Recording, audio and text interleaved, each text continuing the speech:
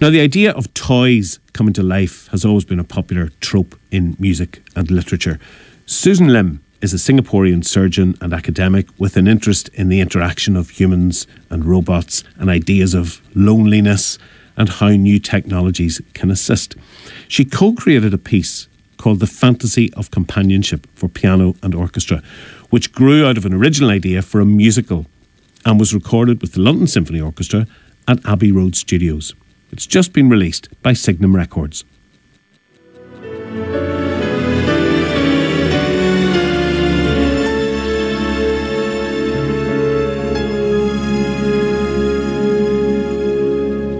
So the story is about the future of companionship between human and inanimate. For me, the issue of companionship takes center stage. As you know, in the UK, a, a Ministry of Loneliness was established in 2018. So this really is a big public challenge. And at the same time, all around us, there is new and disruptive technology that's giving rise to a whole new breed of companions previously unimaginable. And guess what? There's even robotic orchestral conductors. What this is doing, it's it's kind of blurring the lines between what is life and what is non-life.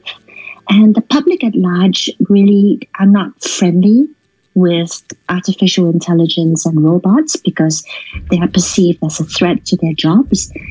And so, what I wanted to do was to open this whole topic up of the future of companionship between human and inanimate as a global conversation. And how else would I do it but through music?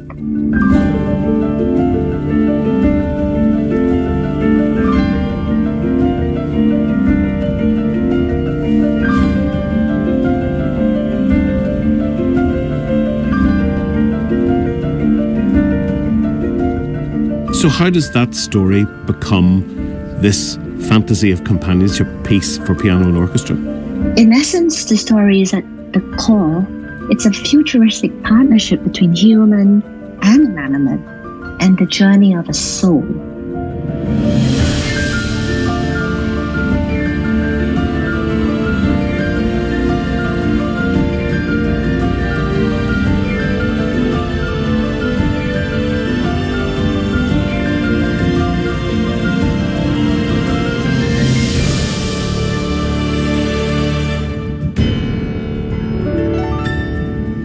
Your original idea was for it to become a musical. My original idea was, yes. I mean, it started as a script.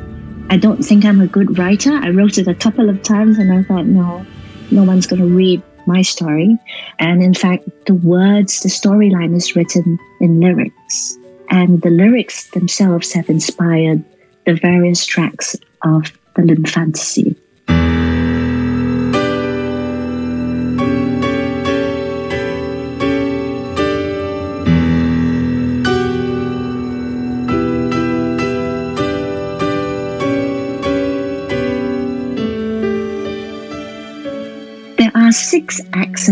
Fantasy, and the fantasy is 32 minutes. And each of the acts tells a different journey. So, in brief, Act One is about the origins of the inanimate. Then Act Two opens up in a world of inanimates living side by side with humans, each in their own separate worlds, until a pair heads off to college.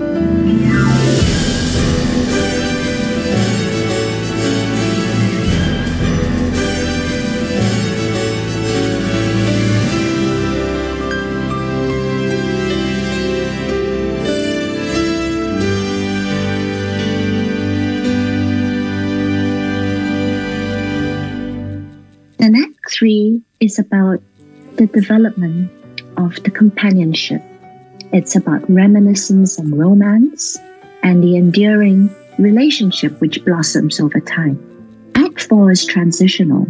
Time has stood still for it, whilst the human has grown and blossomed into a young lady, a doctor. The inanimate faces the fact that its body has risen with time. It is exposed to synthetic DNA, it's exposed to the new science, the new technologies, and it starts to crave and demand the new science to repair its wizened form. Right up to here, it doesn't have a voice. And so, therefore, the fantasy is uh, the inanimate communicating via music, and I think brilliantly, especially by the piano playing of our soloist Ted Joselson.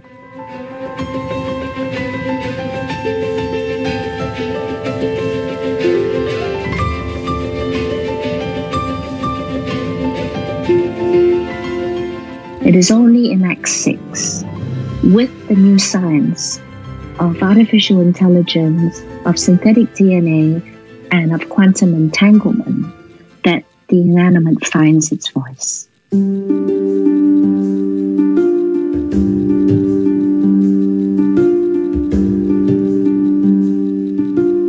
When it came to recording it, then, Yes. you went for a human orchestra with a human conductor. There are no robots. I'll have to confess, I did a lot of research into the one robot conductor that does exist with a Swiss company, but it wasn't it wasn't a task that they were willing to take on because I think the robot conductor had only performed once. But I was really happy with what we had. I mean, we had a, a beautiful 78 member orchestra. It was just mind blowing. We had 36 beautiful voices from the London Voices. And then we had a rock band. I'm, I'm not sure if you if you know that we had a rock band, electric guitar, electric bass, percussions, and drums.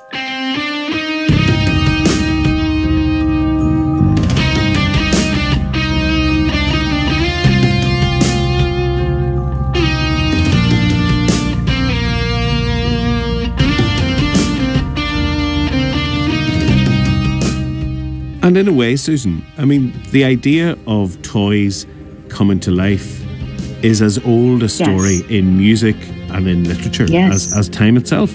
And it could be because there is some underlying truth. For me, this is a fantasy and it's science fiction.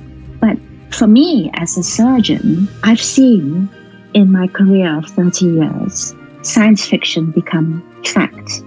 For example, I, as a transplant surgeon, I harvest organs and I put these organs into live people and bestow life. I'm part of a team that prints organs using human and synthetic parts. These are all things that belong to science fiction, but you know, over time, it, some of it's become facts. I really don't discount that with advances in artificial intelligence, that one day robots and our inanimates and toys will become companions, never to replace humans, but really to complement humans, because there is so much loneliness today in society. Dr. Susan Lim, it's a pleasure to talk to you. It's a brilliant idea, beautiful piece, and the very best luck with it. Thank you so much. Thank you, John.